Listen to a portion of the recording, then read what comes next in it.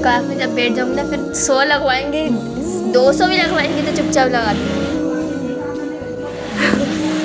कोई काम ही नहीं होगा।